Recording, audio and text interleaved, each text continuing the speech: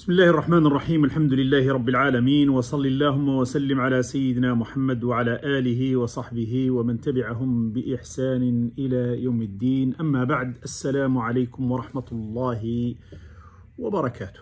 طبتم وطاب ممشاكم وتبوأتم من الجنة منزلا. أسأل الله العظيم رب العرش العظيم أن يجعل هذا الجمع جمعا مرحوما وتفرقنا من بعده تفرقا معصوما ولا يجعل منا ولا فينا شقيا ولا محروما. أسأل الله العظيم رب العرش العظيم أن يبلغني وإياكم هذا الشهر الكريم وأن يتقبل منا الصلاة والصيام والقيام ويجعلنا من عتقائه أو من عتقاء الله سبحانه وتعالى عتقائه من النار. شهر رمضان أقبل علينا يعني بعد يومين ثلاثة يبدأ هذا الشهر الفضيل. ولا بد للمسلم أن يعلم بعض القضايا الفقهية التي تتعلق بالصيام وبشهر رمضان. في قضايا ممكن يعلمها الجميع أو الكثير من الناس يعلمها لكن في بعض القضايا اللي ممكن أو المسلمين الصغار اللي كبروا بدأوا يكبروا وكذا إلى آخره ممكن يكون تغيب عليهم بعض القضايا الفقهية. فرأيت أن أوضحها في هذا الفيديو القصير. أول شيء أول شيء أنه يا الله سبحانه وتعالى قال في القرآن العظيم يا أيها الذين آمنوا كتب عليكم الصيام كما كتب على الذين من قبلكم لعلكم تتقون. هذا من في كتاب الله عز وجل. الأمر الثاني أنه رمضان شهر مدرسة مدرسة تربوية يخرج منها الإنسان بعدة فوائد. المجال لا يسعني لذكر هذه الفوائد وذكرتها في خطب الجمعة لكن الآن أنا أريد أركز على قضية الفقه في هذا الشهر العظيم. أولا نتكلم على على من يجب الصيام أركان الصيام سنن وأداب الصيام المفطرات أو قاعدة المفطرات مباحات الصيام مبطلات الصيام أصحاب الرخص وقضاء رمضان. فأعيروني الأسماع والقلوب. حياكم الله. لكي نستفيد أنا أتذكر وأذكر واللي بيعرف يتذكر واللي ما بيعرفش يتعلم.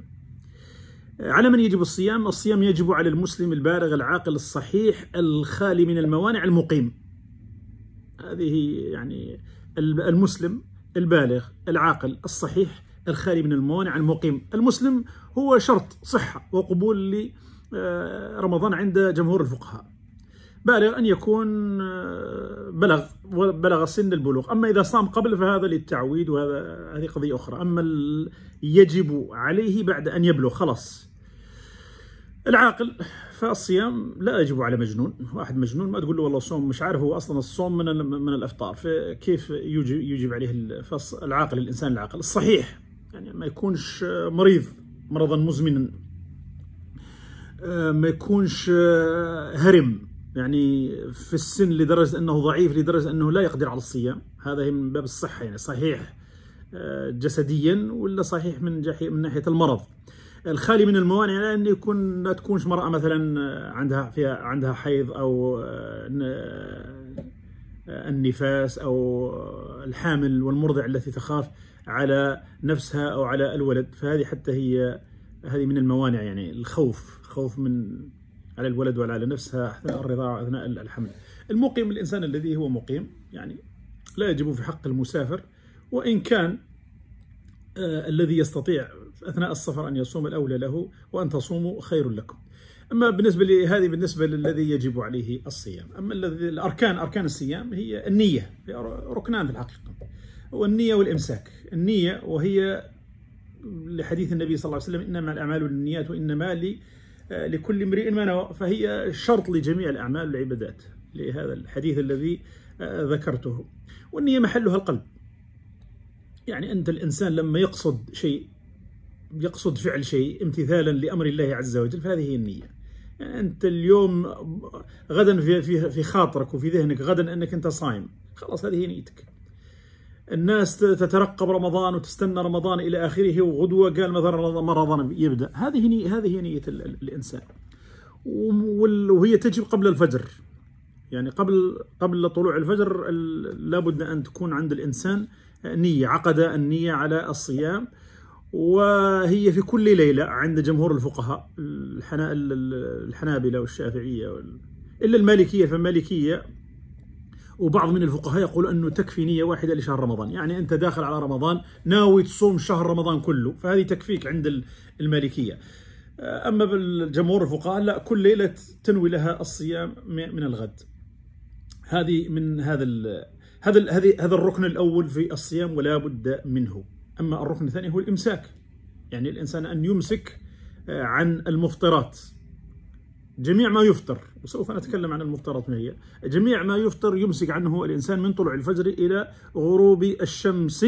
وهذا لقول الله سبحانه وتعالى كلوا واشربوا حتى يتبين لكم الخيط الأبيض من الخيط الأسود من الفجر ثم أتم الصيام إلى الليل. هذا الركنان لا بد منهما. والمفطرات هي الأكل والشرب والجماع أي ثلاث التي آه، يفسد بها الصيام. بالنسبة لسنن الصيام سنن الصيام هي أنك أولا وقبل كل شيء أن تستقبل هذا الشهر الكريم بتوبة صادقة لله تعالى. صادقة خالصة لله عز وجل وكانت الخطبة البارح عن هذا الموضوع بالذات يعني. من السنن هو أنك هو تعظيم الفرائض في هذا الشهر. تعظيم الفرائض لهذا الشهر لشرف هذا الشهر لأنه الفرض في غير رمضان يزداد يعني أجرا وتعظيما ولا بد أن يجتهد الإنسان فيه. والعكس صحيح أن المحرمات في شهر رمضان تزداد حرمة فلا بد أن يبتعد عنها لحرمة الشهر. الأول تعظيم الفرائض لشرف هذا الشهر الكريم والثانية أنه الابتعاد عن المحرمات آه، كما قال النبي صلى الله عليه وسلم إذا نهيتكم عن شيء فانتهوا. لينتهي الإنسان وخاصة لحرمة هذا الشهر. فليزداد الإنسان يعني حذر من من الله سبحانه وتعالى مما حرم الله سبحانه وتعالى ويكف.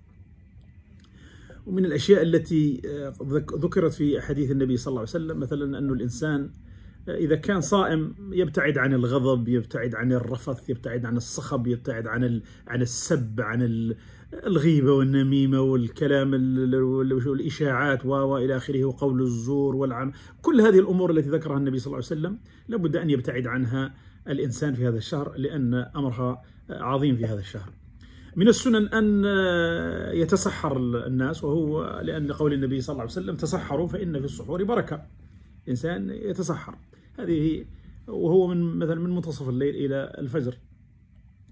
من السنة أن يؤخر الإنسان لكن كل واحد ظروف من السنة كذلك أن تعجل الفطر أن تفطر بعد تحقق الغروب. وهذه قضية مهمة في قضية تحقق الغروب. تحقق الغروب مش معناها أنه والله أنت عندك تليفون في جيبك وأذن. خلاص لا. تحقق الغروب أنك أنت في مدينتك أو في قريتك ولا حاجة من هذا النوع لأنه ممكن التليفون تكون ماشي على على محل آخر يعني على جهة ثانية ويأذن في قبل الوقت بخمس دقائق أو عشر دقائق إلى آخره. هذا ما يصح. لابد أن يتحقق الإنسان أنه الغرب مثلا يكون في مسجد في المنطقة يكون تليفونه مضبوط على المنطقة اللي هو فيها إلى آخره. وإذا تم وإذا أذن فيفطر ما يستنى لأنه في بعض الناس يستنى عشر دقائق وربع ساعة. هذا ليس من السنة بل التعجيل تعجيل من من سنة النبي صلى الله عليه وسلم. كان النبي صلى الله عليه وسلم يعني ما يفطر على رطب التمر ماء إلى آخره أو ما وجد عند الإنسان من طعام. يعني الماء التمر إلى آخره الموجود. من السنن أصل الدعاء في الأوقات بصفة عامة. الدعاء هذا هو الدعاء العبادة كما قال النبي صلى الله عليه وسلم. لكن خاصة عند الفطر لقول النبي صلى الله عليه وسلم للصائم عند فطره دعوة لا ترد.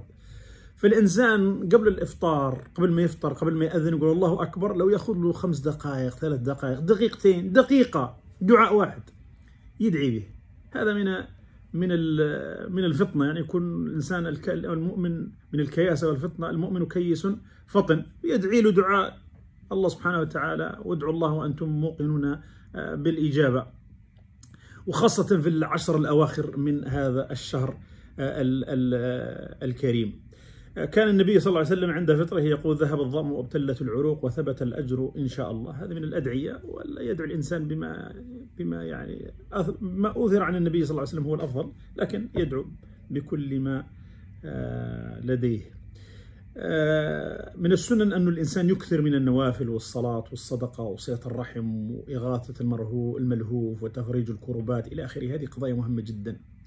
يعني الإنسان في هذا الشهر لأنه شهر آه، نفحة من نفحات الله عز وجل. فالإنسان يتعرض لهذه النفحات بكثرة الطاعات. يعني يطيع الله سبحانه وتعالى في بما يغ... لأن الناس تختلف. في منا من يستطيع الصدقة لأنه صح ذو مال. في منا من يستطيع آه، تفريج الكربات والسعي في آه، قضاء حوائج الناس إلى آخره اللي عنده ممكن عنده وقت وعنده جهد وعنده إلى آخره. هذا يسعى في هذا.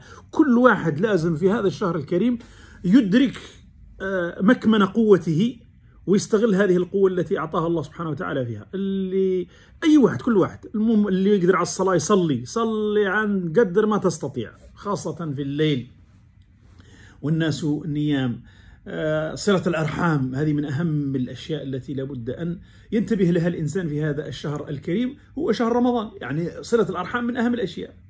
إحنا العكس ممكن في شهر رمضان هذا الناس تبدأ تقاطع في بعضها بعض لما يدخل الشهر يبان له كل مشاكل الدنيا مع ابن عمه. آه، الإكثار من الصدقة وبذل الخير إلى آخره هذا الكلام ذكرته ومن الأشياء التي ممكن آه، مهمة جدا هو أداء زكاة أموال زكاة الأموال في هذا الشهر. يعني ممكن يرتب أموره بحيث أن تكون زكاة أمواله تخرج في هذا الشهر الكريم فهذا فيه أجر آه، عظيم. آه، قراءة القرآن يعني ممكن الإنسان ما يقراش القرآن في السنة إلا في هذا الشهر الكريم يحرص على أنه ولو يختم ختمة واحدة أو نص ختمة أو ربع ختمة المهم ما يتركش القرآن في أيام رمضان وليالي رمضان كلها وما ينتظر بس للتراويح يجب اللي بيقرأ العربية ويعرف يقرأ واللي ما يقراش يروح يتدبر واللي ك... يعني اللي يقرأ العربي الجميع يقرأ العربي الجميع الآن يقرأ يا إما يسمع يا إما يقرأ يا إما يتدبر يا إما المهم يكون عنده علاقة مع كتاب الله عز وجل آه، فيها الخير الكثير فيها الخير الكثير. آه، العشر الأواخر هذه يعني آه، لابد وهي أفضل الليالي السنة وفيها ليلة القدر خير من ألف شهر. فقضية مهمة جدا أنه يغتنم هذه الفرص الربانية والنفحات الربانية التي بعثها الله سبحانه وتعالى. اعمل حالك أنت في بزنس وفي موسم تاع تجارة في موسم تجارة اللي الربح فيه كثير.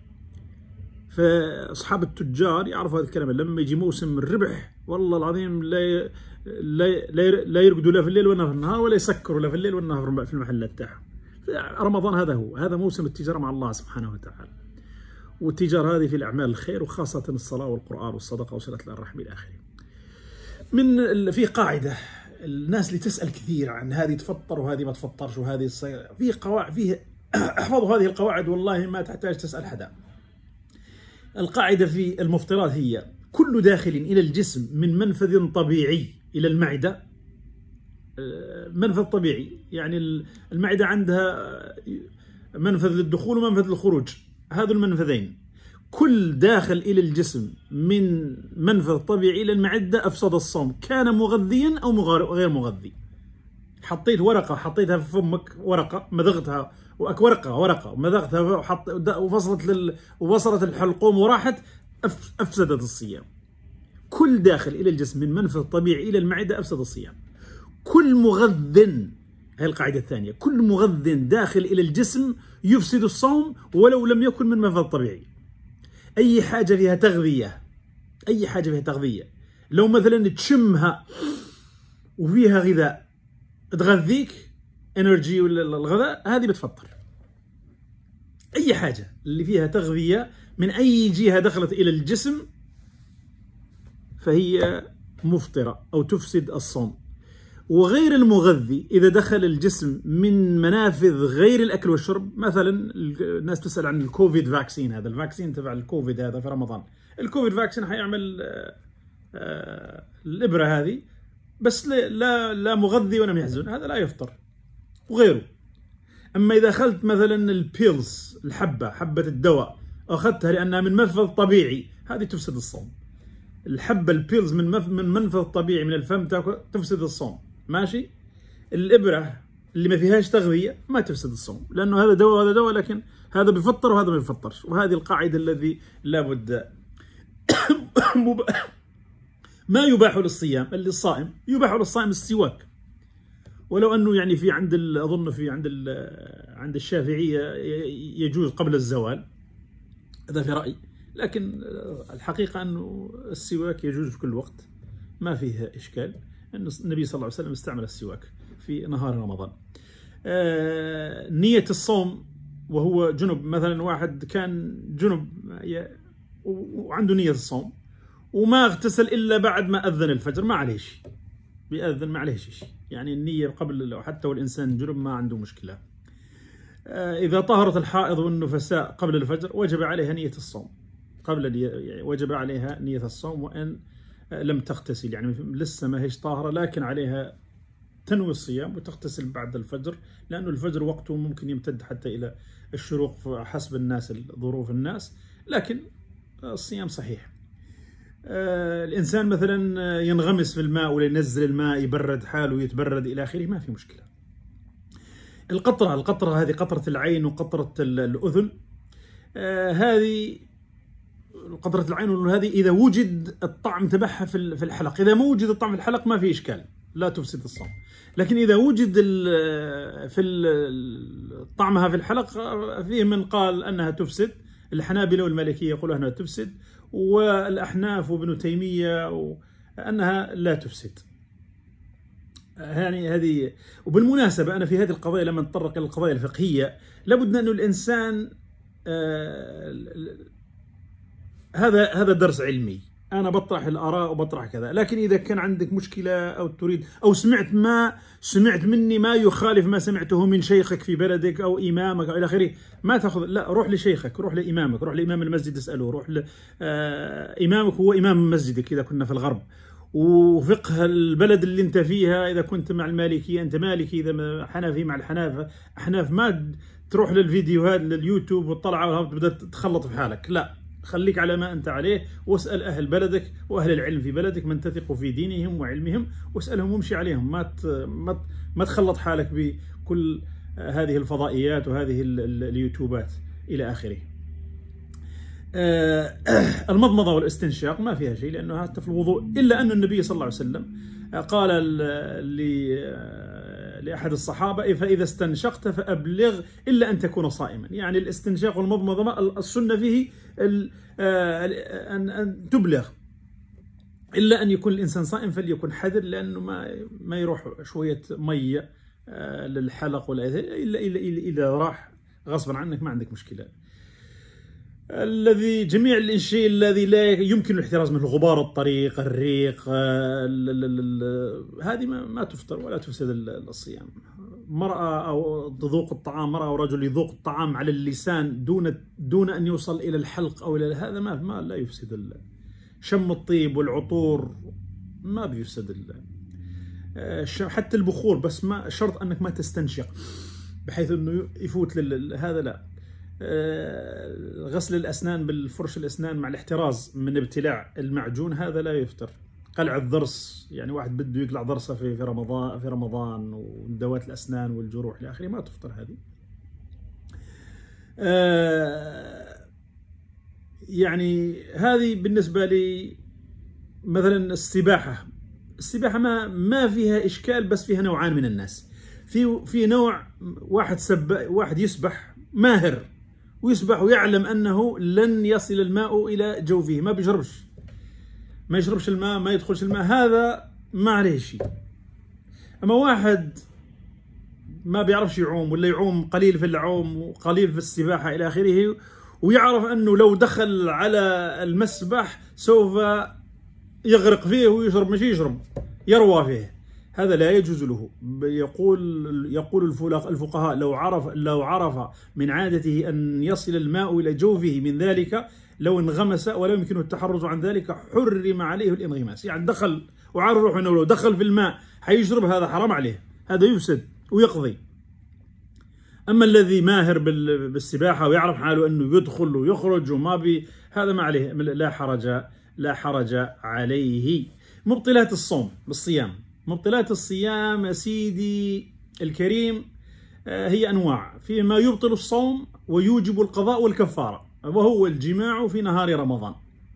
الجماع في نهار رمضان اليوطب الكفارة والكفارة هي على الترتيب التالي عتق الرقبة صيام شهرين متتابعين وإطعام ستين مسكينا. إذا قدر على عتق الرقبة يعتق رقبة. إذا ما قدر صيام شهرين متتابعين إذا ما قدر إطعام ستين مسكينا على كل يوم. والكفارة واجبة على الرجل والمرأة في حال الرغبة والاختيار إذا كان المرأة والرجل في حد هم في اثنيناتهم آه، يعني ارتكبوا آه، هذا المحرم في شهر رمضان فعليهم القضاء والكفارة الاثنين أما إذا كانت المرأة مكرهة أو مفطرة لعذر يعني ممكن تكون مرضع ولا تكون حامل ولا إلى آخره فلا كفارة عليها عند عند عند العلماء. النوع الثاني هو يبطل الصوم ويوجب القضاء فقط. الأول فيه القضاء والكفارة هذا يوجب القضاء. أولها النية الفطر وإن لم يتناول مفطرا. إذا كان الإنسان نوى وقطع النية تبعه في النهار رمضان قال خلاص في نيته أنه خلاص رايح يفطر. هذا يفطر. ويمسك. هذا النهار راح يقضي الق... هذا ما أنه وراح وما أفطر. نوى أنه يقطع الفطر يقطع الصيام نوى أنه يقطع الصيام وعقد العزم أنه يقطع الصيام هذا لكن ما أفطر ما دخل في جوفه شيء هذا يقضي اليوم لكنه يمسك عن بقية بقية النهار. هذا عند المالكية والحنابلة والشافعية. الأحناف أظنهم عندهم رأي آخر والله أعلم.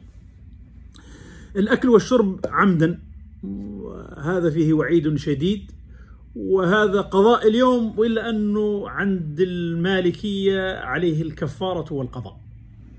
في عندهم دليل على أنه عليه الكفارة والقضاء الذي يأكل ويشرب عمدا. آه الذي أخطأ أو نسي فهذا يا سيدي آه لا لا صيام عليه لا قضاء عليه فلا قضاء عليه. المخطئ والناسي والمكره لا لا لا قضاء عليه. هذا اللي حديث الناس النبي صلى الله عليه وسلم من نسي وهو صائم فأكل أو شرب فليتم صومه إنما أطعمه الله وسقاه. إلى أنه فيه رأي عند أظن عند عند المالكية أنه آه لا آه يقضي آه اليوم. القيء عمدا القيء عمدا هذا يفطر ويوجب القضاء. أما إذا غلبه القيء القيء فلا قضاء عليه. إذا كان غلب مش متعمد هذا لا, لا شيء عليه. الحيض والنفاس. ولو كان في آخر لحظة قبل الغروب فهذا يوجب القضاء. آه،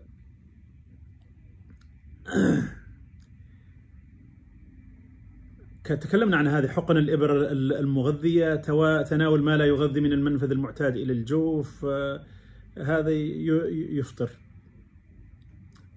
الحجامة آه، الحجامة عند الحنابلة فقط أنها تفطر. غيرهم لا تفطر. الإنسان إذا كان مثلا أفطر لينقذ غريق ولا حاجة هذا حتى هو عليه أن يقضي اليوم. مثلا واحد شاف واحد بيغرق وراح أنقذه لكن شرب حتى ارتوى هذا يقضي اليوم. الرخص في الإفطار من يجوز لهم الفطر وتجب عليهم الفدية دون القضاء. الشيخ الكبير الشيخ والشيخ الكبير والمرأة العجوز الذي لا يقدرون واحد عنده 90 عام ولا ما هو ليس محدد بالسن في الحقيقة وإنما بالقدرة والطاقة. ولو أنه أنا شفت يعني بعض الكبار صعب أنه يتقبل هذا